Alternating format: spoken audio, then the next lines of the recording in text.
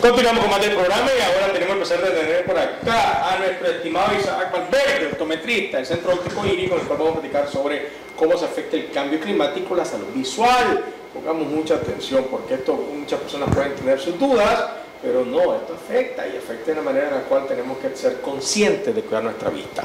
Mi estimado Isaac, buenos días y bienvenido. Buenos días, Giovanni. Es importante saber ahorita que estamos a víspera del invierno, Sí. cómo afecta el cambio climático a nuestra salud visual.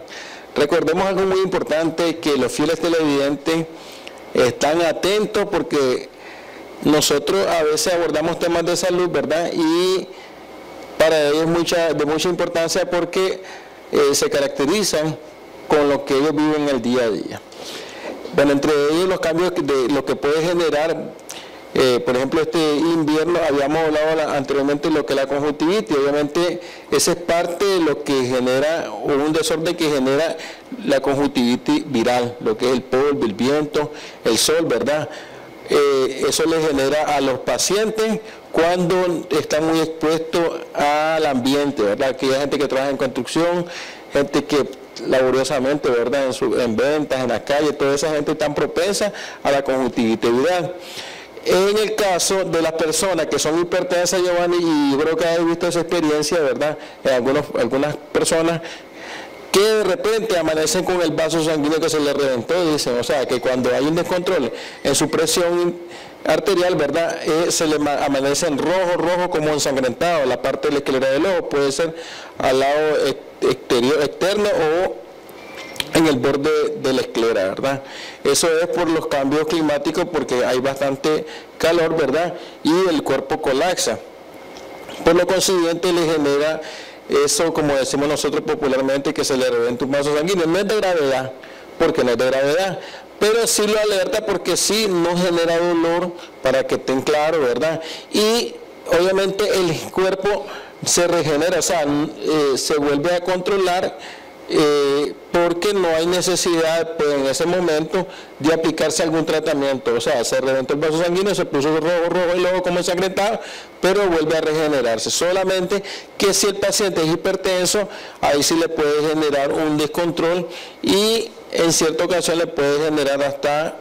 eh, una pérdida de visión cuando lo que se genera un infarto ocular. ¿Qué es el infarto ocular? Que se reviente un vaso sanguíneo a nivel interno, cerca de la retina, y eso ya hay pérdida de visión.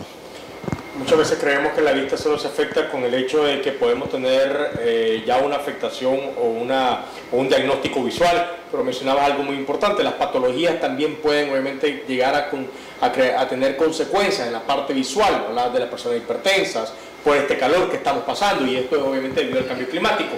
Eh, ¿Cómo proteger nuestra vista? ¿Cómo estar al pendiente de esto con estas afectaciones? El calor, los vientos, ya mencionaba vos, la lluvia, que pueden obviamente afectar. Miramos una imagen ahí donde sale una joven que se sale tocando los ojos porque, eh, eh, como de cansancio, porque también el reflejo del sol en el vehículo cuando va conduciendo donde esté o en, el- o en la calle por el pavimento es fuerte. ¿Afecta esto a la vista? Obviamente que sí, Giovanni, es importante que el paciente utilice lentes de protección adecuados, no es cualquier lente, porque a veces utilizamos lentes solo por tener el colorcito, ¿verdad? Sino que un lente que viene a las necesidades de la protección adecuada que trae V400, lo hemos mencionado, ¿verdad? Eh, la gente que trabaja en soldadura, la gente que trabaja en las calles, ¿verdad?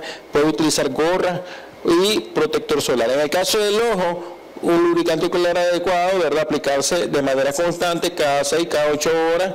Eso es de venta libre, puede ser la laricel, la meticel. ¿Para qué? Para que el paciente no esté propenso a que le te sienta como, eh, como sensación de arena, porque al friccionarse más bien lastima más y puede generar la conjuntivitis alérgica, porque nosotros tocamos de todo. Y en víspera de invierno, que es bueno tam- también, eh, puede generarse o manifestarse la conjuntivitis bacterial, que es un, que es un una enfermedad que genera secreción, genera dolor y es porque cuando hay cambios climáticos, como estábamos mencionando anteriormente, eh, hay pacientes pues que están propensos a la conjuntivitis bacterial y eso se desarrolla más cuando el paciente no tiene control y no se ve exhaustivamente en tiempo y forma. También el hecho de revisar sus lentes ahorita, antes de que empiece toda esta época, para poder ir realmente conocer si tengo que cambiar el, el, lente o si esto me está afectando porque ya no es el lente que yo requiero porque he perdido la capacidad visual. Obviamente que el paciente tiene que hacer su chequeo, eh, de hecho un chequeo exhaustivo, si el, paciente manifiesta problemas refractivos, es ahí donde él tiene que utilizar un lente adecuado. Hay lentes fotocromáticos que cuando le da la luz del sol oscurecen, que habíamos mencionado anteriormente, el transicio, el video de transicio, llenan las necesidades para el paciente, ya sea en verano o en invierno, porque son las dos, las dos épocas que vivimos en el año en el país, ¿verdad? Y algo que le va a proteger adecuadamente, aparte pues que eh, obviamente tiene que utilizarlo ya si amerita graduación con su graduación adecuada. Ok, te mencionaba la parte eh, como no solo en como protección, muchas personas, para mencionarlo también, ocupan lentes de contacto y esto a veces se pasa el tiempo porque no les da chance de, de cambiarlo, de guardarlo, eh, no están al pendiente de cuánto tiempo lo van utilizando y pueden tener 8 o 10 horas ocupándolo. De hecho, el lente de contacto este, tiene una fecha de vencimiento. El lente lo puede utilizar de manera constante, pero con el cuidado necesario. No estarse, estarse tocando, como decimos popularmente, porque más bien lo puede generar una infección. La recomendación de los pacientes que utilizan el lente de contacto, pues de hecho tiene que utilizar eh, un lubricante adecuado, ¿verdad? Que es el que lleva, que tiene que traer antialérgico. nosotros hemos mostrado, por ejemplo, el Prolup, que ha sido una excelente opción para las personas que usan lentes de contacto. Yo generalmente, yo soy honesto y sincero, yo no recomiendo lentes de contacto. ¿Por qué? Porque yo soy, yo, yo soy del concepto que la persona que usa lentes de contacto tiene que ser en, ocasiones. Y si lo usa de manera constante, pues obviamente ya se adecua a eso. Pero sí, hay riesgos, sí hay riesgos. ¿Por qué? Porque el paciente generalmente en este país son normalmente obreros, o sea, no son del área de oficina. Entonces, es más propenso para un obrero utilizar de contacto porque eh, toca de todo, anda en el ambiente, anda de una manera descontrolada y cuando decía en ocasiones, pues obviamente en eventos especiales que van para alguna actividad, que tiene alguna exposición o algo así, es que lo pueden utilizar. En caso de las personas que trabajan en oficina, obviamente sí pueden utilizar el de contacto, por ejemplo, los, reposteros, gente que, que camina en cuarto frío, porque el lente normal, más bien lo que hace es nublar eh, su, su lente normal, ¿me entiendes?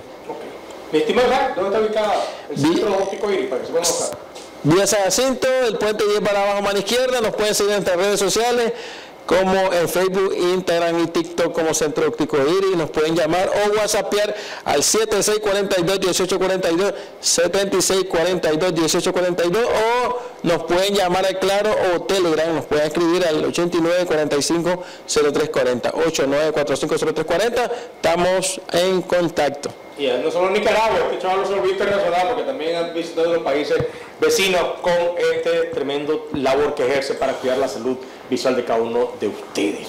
Así terminamos la revista la mañana de este día miércoles. Yo lo espero mañana jueves, 8 en punto de la mañana en Buenos Días Nicaragua. Nos vemos.